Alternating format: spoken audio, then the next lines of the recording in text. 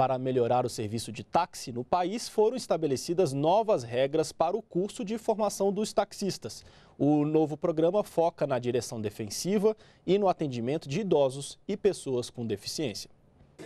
Nesta unidade do Serviço Nacional de Aprendizagem do Transporte no Distrito Federal, os alunos já estão tendo contato com os novos conteúdos. As novas regras estabelecem cursos obrigatórios para taxistas com carga horária mínima de 28 horas aula e conteúdo válido para todo o país. Antes, cada município estabelecia suas próprias normas. As aulas são essenciais para quem pretende renovar ou tirar a licença para dirigir táxi.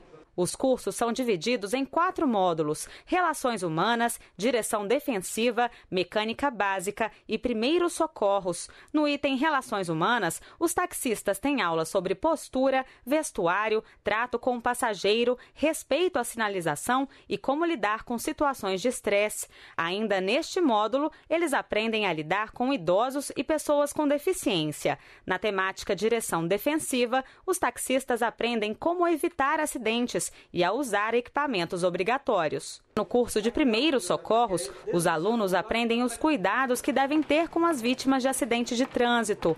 Os taxistas José Paulo e Erivaldo estão fazendo pela primeira vez o curso de atualização. É capacitação técnica, né?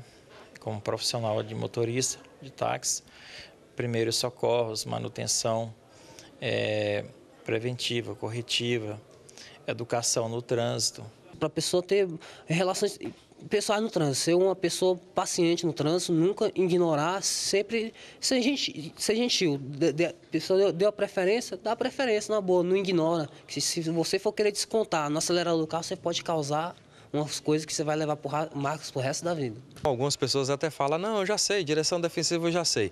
Só que existe a diferença entre você saber e você praticar. Então, o que, que a gente quer trazer para as pessoas é exatamente essa conscientização, a responsabilidade que ele está tendo com o nosso transporte. O conhecimento aprendido lá em sala de aula se transforma aqui nas ruas em melhor atendimento e mais segurança. Ganha o taxista que fideliza os clientes e ganha também o passageiro que se sente mais tranquilo durante o trajeto. A melhoria, qualquer que seja de, de ensino da parte deles, técnico, é melhor para a gente. A gente se sente mais seguro, né? Sabendo que eles são realmente profissionais.